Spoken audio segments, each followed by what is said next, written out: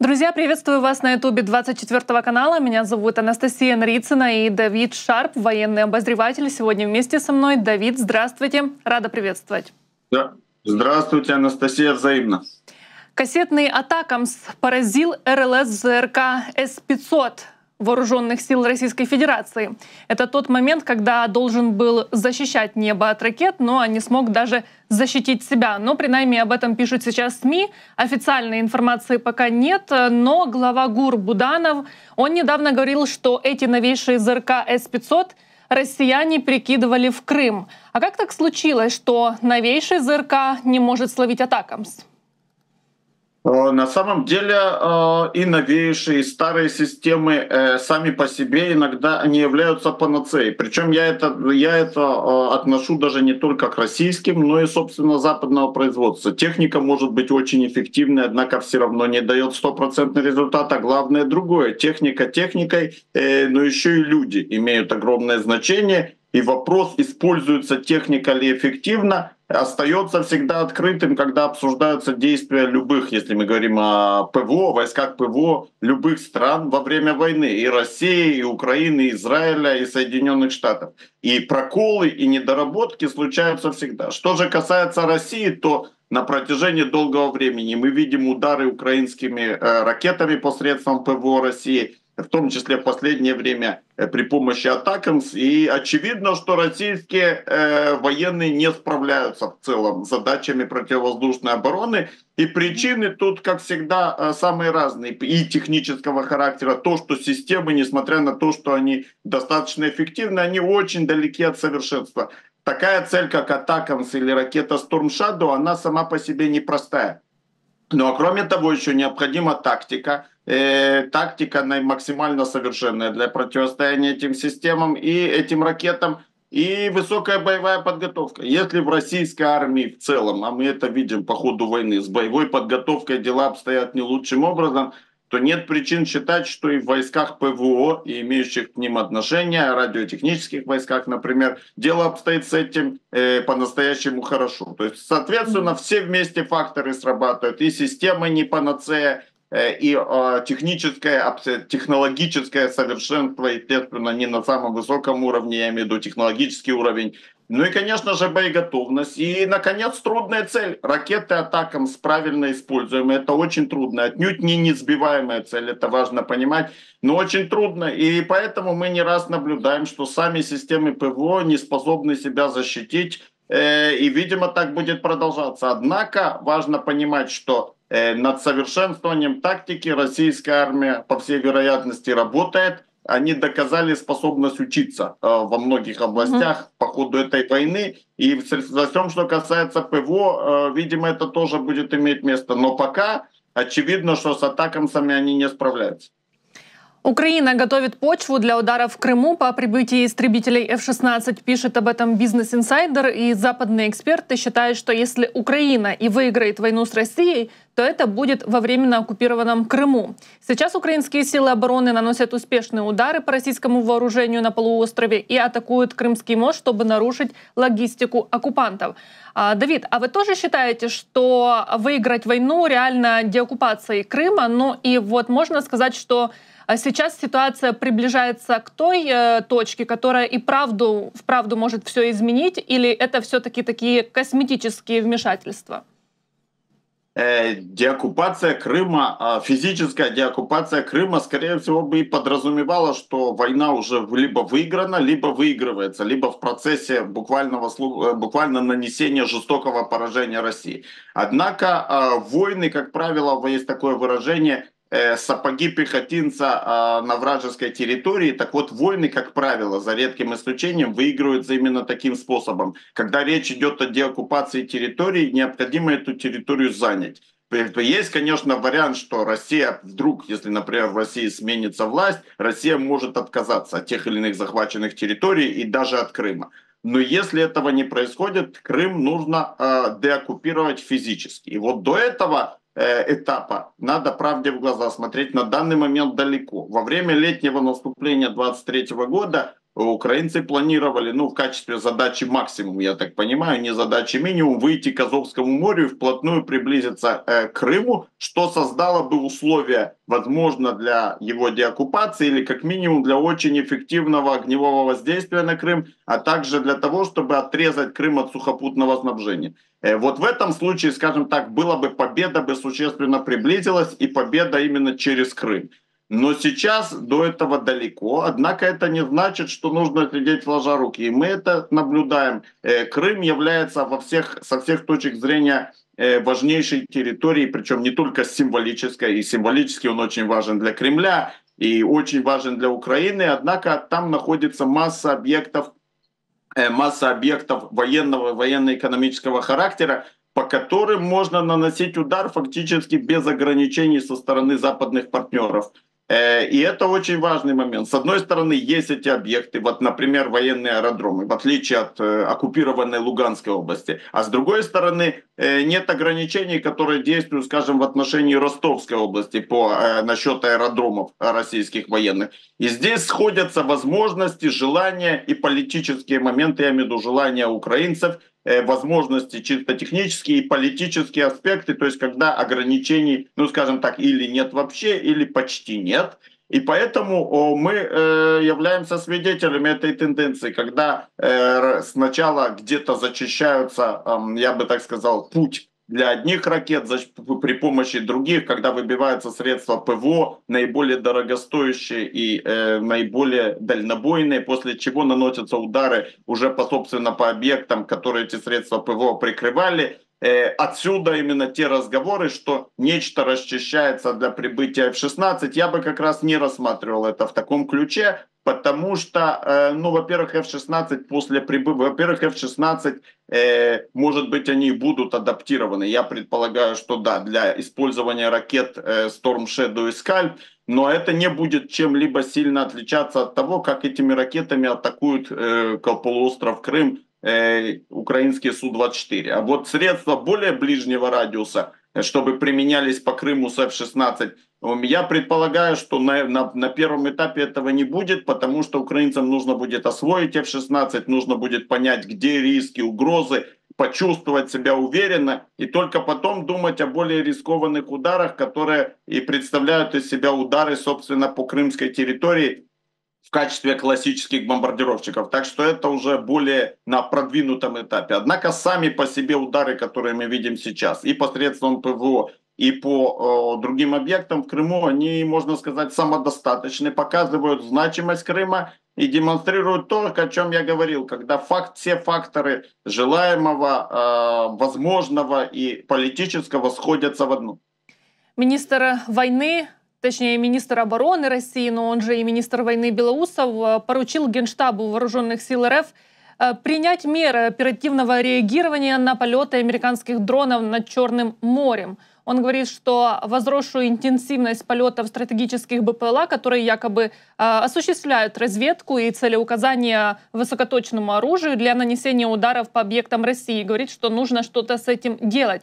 Но ранее российские паблики писали об инциденте, что вроде как они сбили уже первый американский беспилотник над Черным морем. Подтверждения этому не было ни с американской стороны, ни с российской, но после этого глава Пентагона Остин э, звонил Белоусову. Тема беседы тоже не разглашалась. Как вы думаете, а какие меры может э, предпринять Россия? И вот этот звонок Остина Белоусову, мог ли он носить предупредительный характер со стороны США? А, во-первых, мы помним уже один случай, когда над Черным морем э, фактически за счет такого тарана э, был поражен американский беспилотник. Более похожего, похожего э, образа, э, похожие действия э, россияне осуществляли и в Сирии. Э, то есть э, смысл примерно такой, насколько я понимаю. Если сбить над нейтральными водами при помощи э, истребителя ракетой воздух-воздух или э, зенитно-ракетным комплексом американский дрон, но это будет явный акт эскалации, фактически, э, ну, фактически акт агрессии, да. Но в любом случае абсолютно э, такое неспровоцированное действие военного характера, Э, с уничтожением, с уничтожением материальной части Соединенных Штатов. Это может привести к серьезным последствиям, это Россия понимает. А вот такого рода, э, я назову это в кавычках, хотя это на самом деле, не, наверное, будет неправильно определение, хулиганские действия, когда самолеты российские сближаются вплотную с американскими дронами, наносят им повреждения, приводят к тому, что есть их риск падения, мешают им осуществлять свою миссию – это то, что мы уже видели в прошлом. Это, кстати, мы видели в прошлом э, со стороны Советского Союза и со стороны российской авиации в отношении пилотируемых самолетов стран НАТО в районе границ России, э, однако в международном пространстве. Так вот, такого рода активные действия в принципе, с одной стороны, вроде бы не являются актом вооруженной агрессии на нейтральном, а с другой стороны, существенно мешают дронам э, и, возможно, представляют для них опасность. Невозможно, а точно представляют для них опасность. Подобного рода действия, естественно, тоже неприемлемы с точки зрения международного права. Э, не могут быть оправданы. Но тут у американцев дилемма. В свете их осторожного подхода, очень осторожного к эскалации с Россией, они до сих пор не были готовы реагировать, что называется, вооруженной рукой на такого рода действия. А с другой стороны, если не реагировать вооруженной рукой, то что делать? Звонить, э, звонить министру обороны России, уводить свои дроны подальше от российских границ. Эм, но если уводить, это будет проявление слабости. В общем, выбор в свете их стратегии непростой. На мой взгляд, должны быть решительные действия и решительные предупреждения, чтобы показать России неприемлемость такого рода действий. Но в Вашингтоне, естественно, меня моих советов не спрашивают. Кремлевская табакерка — это такой, скорее, а, российская помойка, телеграм-канал, но все-таки он пишет о том, что в Крыму и в Севастополе погибли 94 российских военных, и это в период с начала мая до 23 июня этого года. Такую информацию им якобы раскрыли два источника в Министерстве обороны. Официальные данные не были обнародованы. Ну и Белоусов говорит, что нельзя об этом никому рассказывать. Э, это, еще раз акцентирую внимание, не подтвержденная информация, но если все-таки она подтвердится, э, это хороший результат. 94 военных вот с мая по июнь. Это очень много на самом деле. Если ведь мы же говорим не о линии фронта, э, там, где идет наступательные, оборонительные действия, интенсивные перестрелки, обмен ударами. И речь идет о прилетах высокоточных боеприпасов, которых хоть и относительно много, ну вот не так, чтобы много, не на ежедневной основе. Более того, прилеты, как правило, происходят не совсем по расположению личного состава. То есть, когда речь идет об уничтожении зенитно-ракетного комплекса или какой-то техники, находящейся на открытой местности, это достаточно, не то чтобы это простая задача, здесь все понятно. Попали, ПВО не перехватило, оно уничтожено. Вот при этом уничтожении многих и многих десятков э, тех, кто к этому и к технике имеет отношение, это результат очень успешный. Э, я могу предположить, что все же, видимо, где-то было накрыто расположение личного состава. Если эти цифры верны, подчеркиваю, если эти цифры верны, то в каких-то из эпизодах должны быть погибли, видимо, десятки человек. То есть здесь можно предположить прилет в какую-то казарму или место базирования, или в штаб, когда в нем находилось немало людей, причем унитарной боеголовки. Либо прилет кассетной боеголовки туда, где э, солдат, солдаты и офицеры находились на незащищенной местности. То есть в целом это выглядит большими потерями в личном составе для такого рода ударов но всегда нужно быть осторожным и консервативным. Я это касательно всех войн говорю. В оценках потери противника пока нет подтверждений, воспринимать это так, со знаком вопроса. Ну а если подтверждение есть, пусть это будет, э, я имею в виду, когда подтверждение больших потерь есть, пусть это будет приятным сюрпризом. Россияне готовятся к наступлению на юге. Такое мнение высказал советник мэра Мариуполя э, Андрющенко. И он говорит, что это может быть любой участок Южного фронта от Донецкой области до Херсонской. И Андрющенко объяснил, что ввод в действие железной дороги по оккупированной территории южных областей значительно облегчает россиянам подготовку к этим наступательным операциям. А, но с другой стороны, мы видим, поступает информация, что наоборот, оккупанты сейчас перебрасывают своих военных с южного направления на а, север Харьковщины. Вот что вы скажете об этом? Есть ли признаки подготовки а, к масштабному прорыву? Вот такого рода, ну, насчет масштабного прорыва мы можем говорить, чтобы был масштабный прорыв, чтобы ставить такую цель. Перед собой нужно задействовать в одном месте очень крупные силы. Э, значит, до сих пор, за редчайшим исключением, мы не видели такого, я не говорю сейчас о начале войны, я говорю о более э, недавнем времени относительно, ну, например, с зимы 22 года, с осени 22 года, мы не видели от россиян э, подобного рода действий. Причин тому немало, в том числе понимание э, не, не очень-то большой способности задействовать большие силы единовременно. Это очень сложная операция такого рода планирования, осуществления. Плюс э, проблема в том, что если такого рода операция заканчивается неудачей, то все, то тогда сложно повторить что-то в ближайшее время. Другое дело, вот та тактика, которую Россия использует, довольно малыми силами на ряде участков раз за разом осуществляются атаки поисках слабого места и ради выдавливания украинцев со своих позиций. Здесь есть право на ошибку и даже право на много ошибок и всегда есть возможность исправить. Мне сложно предположить, что они откажутся от такой тактики, такой стратегии. Исключением является ситуация, когда мы увидим развертывание крупной группировки на каком-то участке, и тогда можно будет предположить, что да, нечто планируется. Но видеть развертывание группировки могут, как вы сказали, признаки, может видеть только разведструктура, либо если в открытую прессу будут слиты о том, что такая группировка развернута. Э, ситуация поэтому примерно выглядит следующей. Если с юга Украины перебрасываются силы с юга Украины оккупированного, перебрасываются силы на э, Восточный фронт, назовем это так, то очевидно, что подготовка к каким-то дополнительным наступательным действиям, либо их усилению, я бы сказал так, ведется именно на Восточном фронте. Угу. Что касается э, юга, то при, при наличии каких-то резервов они бы наступать могли. Однако здесь, опять-таки, важно знать, где эти резервы, сколько их, предположу, что когда мы говорим о переброске, сил, значительных сил для наступления не остается. Если это все правильно с точки зрения вот этих сведений. И тогда можно ожидать на юге лишь отвлекающих действий, вот такого давления и каких-то отдельных локальных э, ударов. С другой же стороны, мы знаем, что основные усилия российской армии сосредоточены э, в районе Часового Яра, Покровском направлении. Естественно, сегодня это и Торецк, Э, и Купянск севернее, недавно открытый фронт в Харьковской области. Э, у них и так не так много резервов и много очень точек, э, такого точек приложения усилий. По, по, про юг пока ничего не известно, я имею в виду, по крайней мере, на основании открытых источников. Mm-hmm. Что же касается железной дороги, тот момент, когда она, когда она начинает, если она начинает активную свою актив, активную действие, я имею в виду Э, я имею в виду железная дорога э, функционирует активно и постоянно, безусловно, это облегчает российской армии э, логистику и, безусловно, дает ей возможности перебрасывать достаточно быстро резервы и крупные партии боеприпасов и продовольствия на те или иные участки, которые находятся вблизи железной дороги. Это очень важная логистическая артерия в тот момент, когда она действует, конечно, должным образом. А как ее можно уничтожить? Тоже с помощью ракет Атакамс?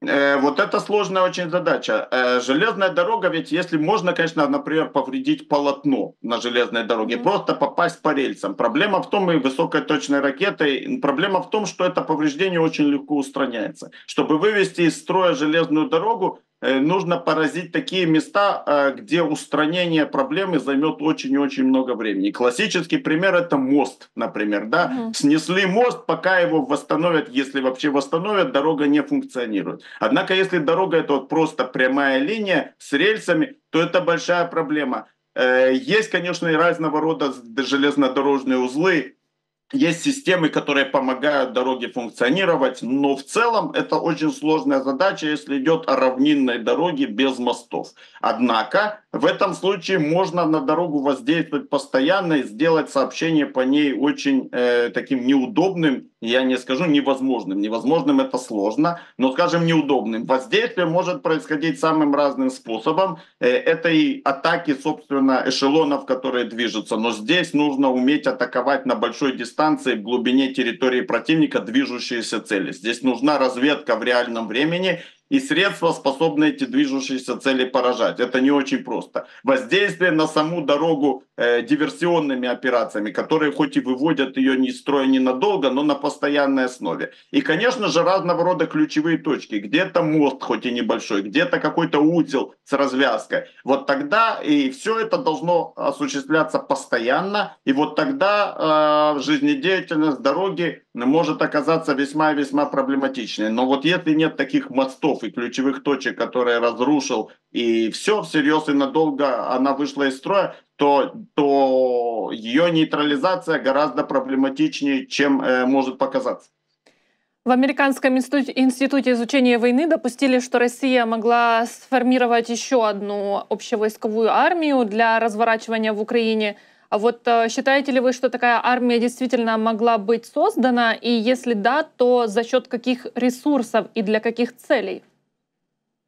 Э, цели понятны. Россия ощущает недостаток э, частей соединений для решения масштабных задач, наступательных, а были времена и оборонительных задач. Более того, э, есть новая холодная война со странами НАТО, а соответственно нужно не только все стянуть э, в район э, фронта с Украиной, это то, что по сути произошло, а осуществлять какое-то прикрытие границ с недружественными странами. В общем, России нужна э, большая армия. Это, э, а так как это речь идет сейчас о войне количеств.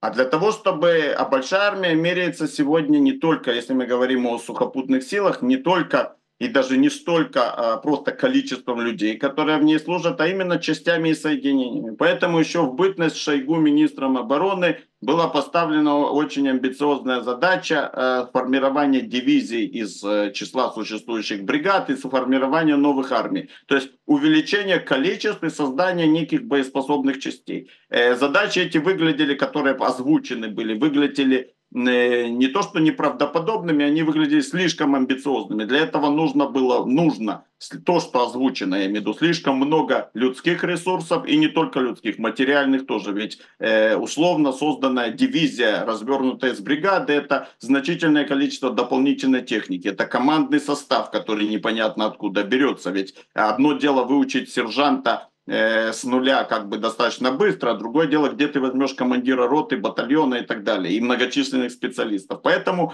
задачи формирования новых частей соединений, как правило, это задачи на многие годы. Они требуют огромных материальных и кадровых ресурсов. И, естественно, предположу, что озвученные э, Россией задачи не были реализованы и не реализуются по графику. Однако частично э, процесс идет. А за счет чего? Поднимаются с техника, какое-то новое производство, училища кого-то выпускают, ну и привлекаются э, контрактники на службу, новые контрактники. Плюс, возможно, происходит какая-то оптимизация в рядах собственно, вооруженных сил России. Я просто сейчас такой отвлеченный пример. Ну, например, флот, он в войне почти не задействован. Так можно уменьшить личный состав флота, отправить каких-нибудь э, моряков послужить на сушу.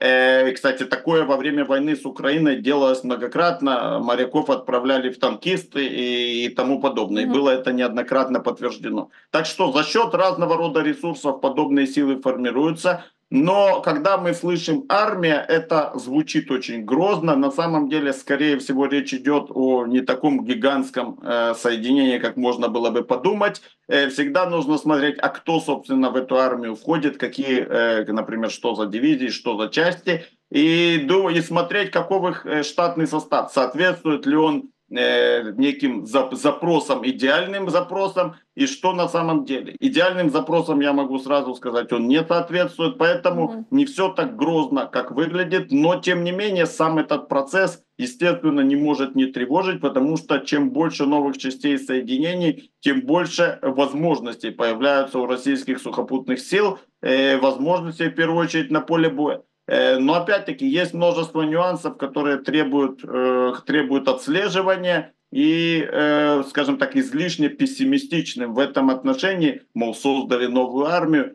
быть не стоит. Я же говорю, нюансы говорят о том, что не все так видится в розовом свете с точки зрения, с точки зрения российской армии, как может кому-то показаться. Мы очень редко говорим, ну а зря, что очень редко говорим о том, что силы обороны Украины в последние недели очень огромное количество россиян уничтожают на фронте, и а, их потери в живой силе составляют от 1000 человек до 1500 в сутки. А до какого предела, по вашей оценке, могут они компенсировать эти потери, и существует ли для них э, какое-то критическое количество потерь, как общие, так и суточные? Э, безусловно. Ну, одноразовое суточное, суточное количество потерь – это вот просто неприятный эпизод. Это еще э, не тенденция. А вот когда тенденция сутки за сутками или в течение месяца – Безусловно, существует критическое количество. Давайте так, это не может, я не могу, естественно, назвать какую-то цифру, но критическим количеством будет то, когда э, количество потерь э, в боевых частях, а в основном потери несут те, кто на линии фронта, хотя и в тылу тоже, как мы обсуждали с вами, в Крыму были потери, но я в первую главную очередь в районе линии фронта это непосредственно боевые части и силы, которые им содействуют. Так вот, тот момент, когда на протяжении довольно долгого периода потери э, превышают пополнение, это становится критической критической величиной. В тот момент, просто в этот момент силы начинают таять. И если они тают на протяжении недель или на протяжении месяцев, то на каком-то этапе наступательные возможности просто уходят. Наступательных возможностей не могут быть бесконечны, когда силы уменьшаются, уменьшаются. Более того, на каком-то этапе и оборонительные возможности падают. То есть э, пополнение, пополнение должно быть э, ниже, чем потери. Это общий расклад. Теперь мы примерно, когда мы говорим о пополнении российской армии за счет контрактиков, мы слышим их официальные данные.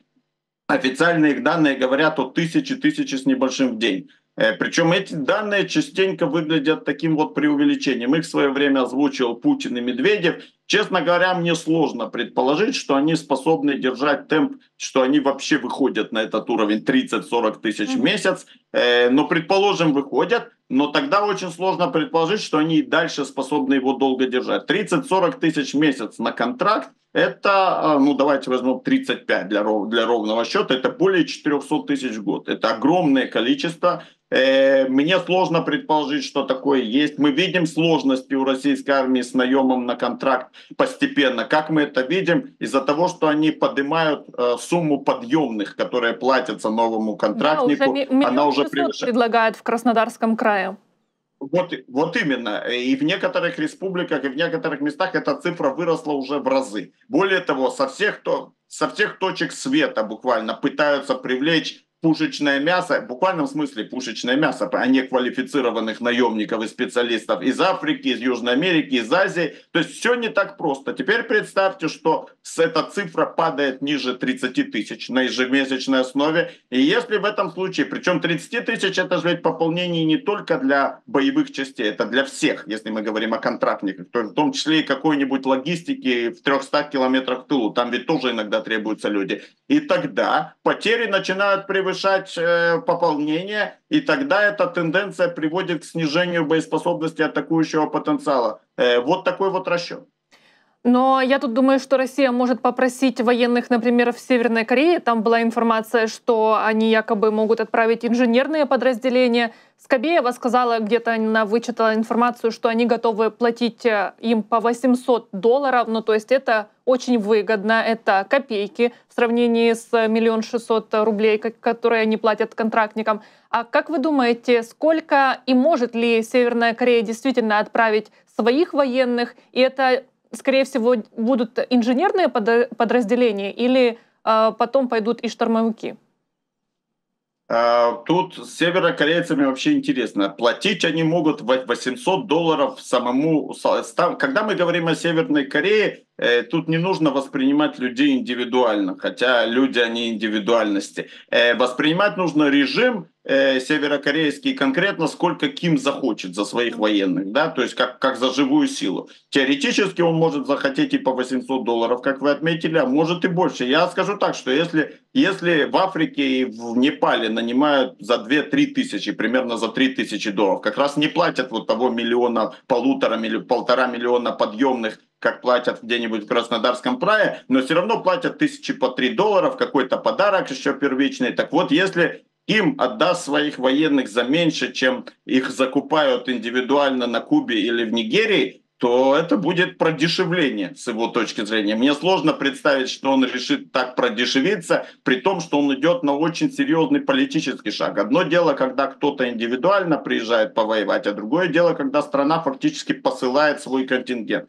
Так что я думаю, корейцы обойдутся, э, северокорейцы обойдутся России дороже, но это такое мое интуитивное предположение. Значит, когда мы говорим об инженерных войсках, важно понимать, есть инженерные войска, которые на острие удара находятся, это называемые боевые инженерные войска, а есть то, что, видимо, имеется в виду под, под термином стройба. То есть некие строительные логистические работы в ближнем или относительно дальнем тылу, призванные э, заменить э, россиян, гражданских или военных, которые можно будет высвободить для других дел. Либо, допустим, что не хватает российских рабочих рук, строителей для строительных работ где-то там вблизи линии фронта, и вот тут-то корейцы, пожалуй, это, это тоже помощь, но тогда она в меньшей степени военная. Значит, но весь вопрос в том, решится ли Ким и захочет ли Путин, вернее, в первую очередь, захочет ли Путин и решится ли Ким послать именно боевые части, э, повоевать. Э, я предположу, что такое не исключено. Россия перешла вот этот Рубикон, э, который, если можно так сказать, э, не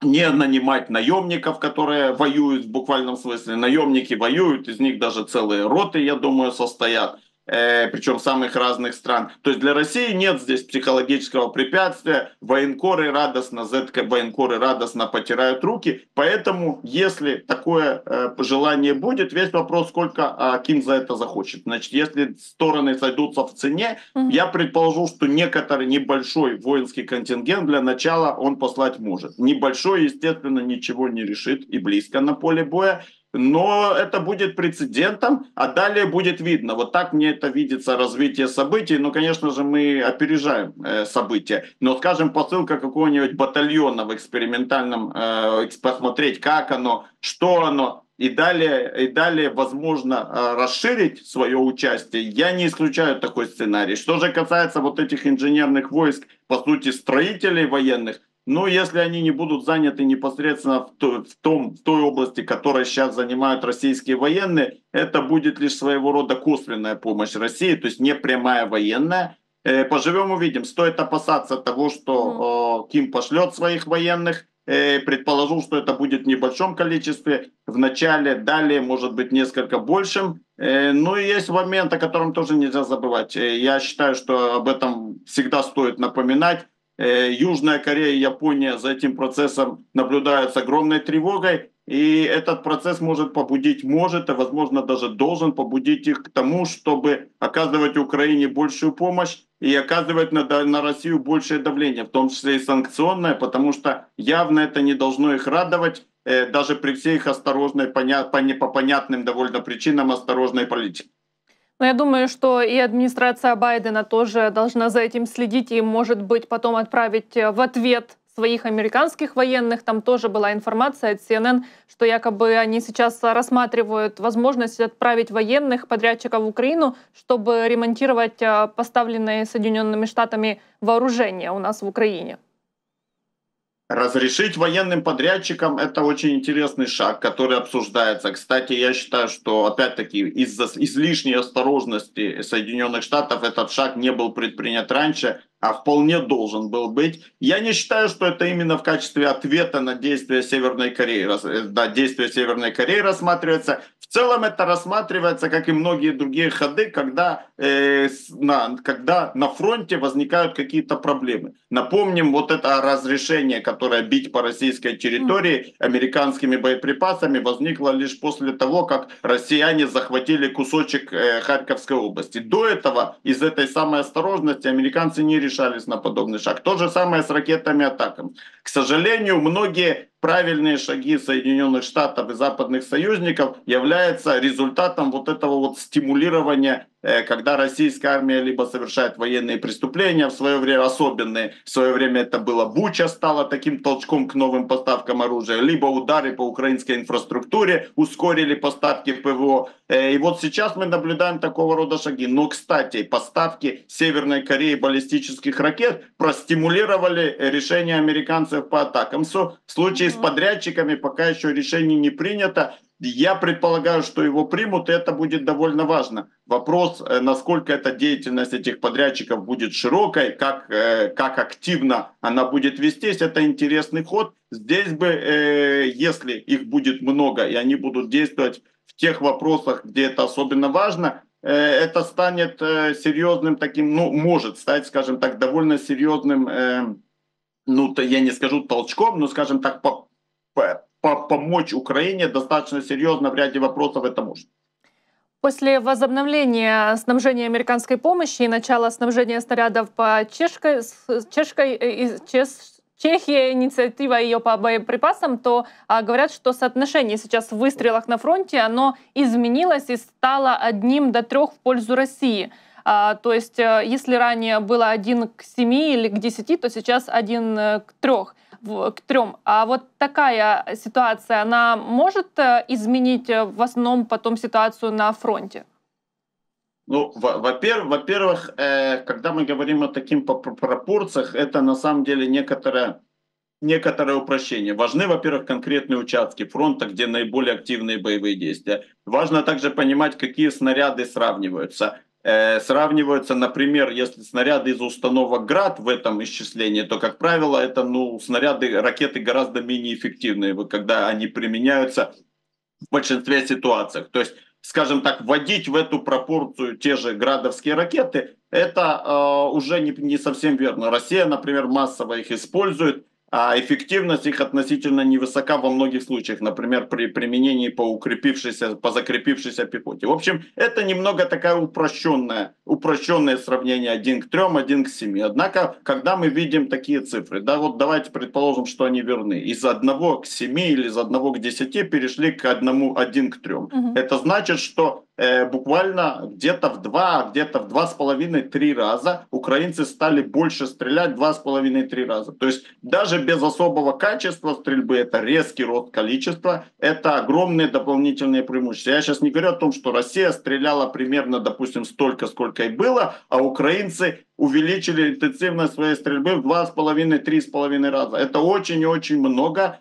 Э, естественно, эффект от этого обязан быть колоссальным. Э, Причем эффект как в обороне, так и в наступлении, каких-то локальных наступательных операций. Главное в контрбатарейной стрельбе. Контрбатарейная стрельба – это важнейшая составляющая этой войны. Если ты более эффективно мешаешь артиллерии противника действовать, значит, ты спасаешь собственных военных, ты наносишь противнику больший ущерб благодаря уже своей стрельбе по, э, собственно, по различным объектам и целям э, на фронте. Э, и это колоссальное значение имеет. Так что э, важно, важно, я бы так сказал, важно даже не совсем пропорции сравнения, хотя это интересные цифры, но тут всегда дьявол в деталях. Важно то, что украинцы увеличили свои темпы своей стрельбы, судя по этим данным, если российские цифры остались неизменными, в три с половиной раза. Это колоссальный результат. Э, и этот результат уже э, наверняка сказался на происходящем на фронте и продолжит сказываться и дальше, если удастся сохранить подобные темпы и тем более наращивать.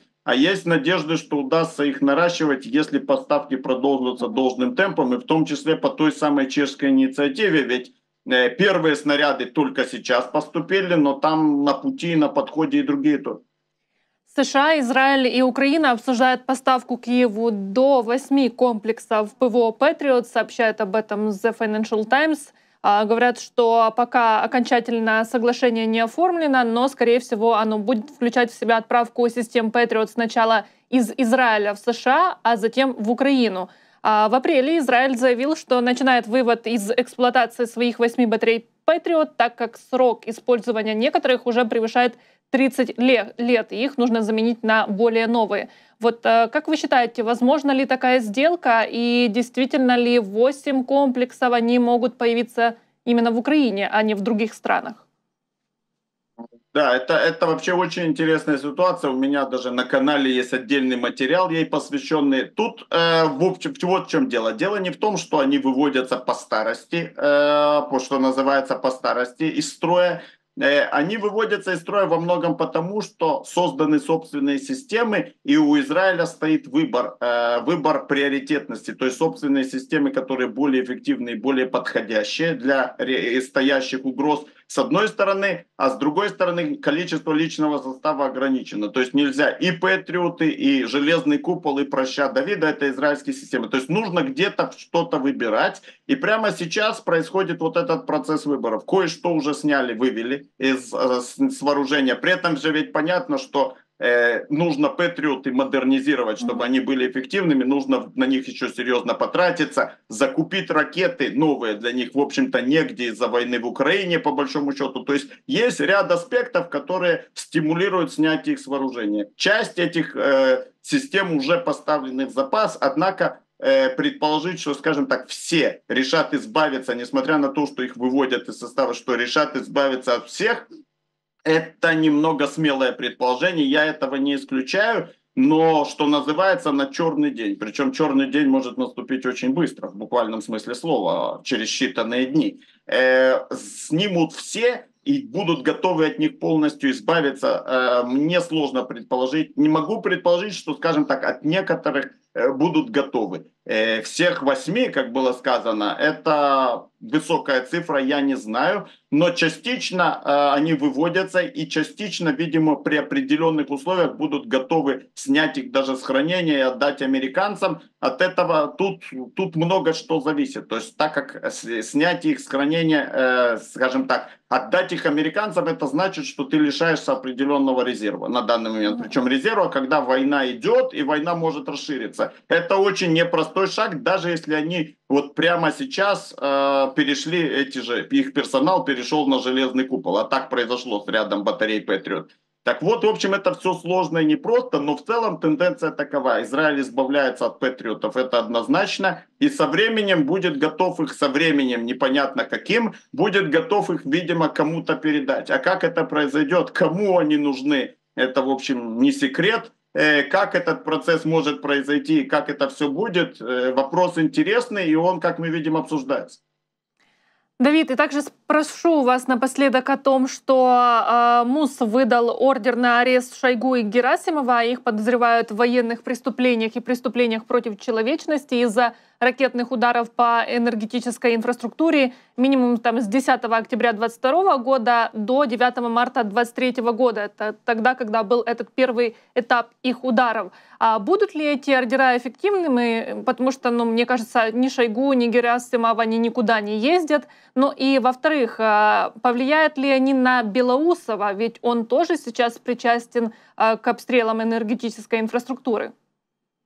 Э, я думаю, Белоусов, э, знаете, после того, как вы, вы выдали ордер, в общем-то, и на арест Путина, то, в общем-то, всем все стало более-менее понятно. Э, соответственно, человек, который решается занять пост министра обороны в России, прекрасно понимает, что даже до того, как Шойгу получил, получил сообщение о выдаче ордера на арест, прекрасно понимает, что его и эта судьба. Раз Путин этот ордер получил, то и министр обороны рано или поздно также будет выдан ордер на его арест. Однако, как мы видим, это не остановило Белоусова, который был финансистом и мог, кстати говоря, остаться, ну, я так понимаю, что его вряд ли силой заставили, да, остаться в стороне от этого, он на этот шаг пошел. Значит, как мы видим, он этого не боится. И исходить нужно из следующего. Естественно, никто внезапно ни Герасимова, ни Шойгу, ни Путина не арестует. Там, где их могут арестовать, теоретически они, естественно, не появляются. Э, поэтому эти шаги на данный момент имеют значение символическое. Они напоминают э, миру о том, что эти люди, которые занимают важные посты в России, подозреваются в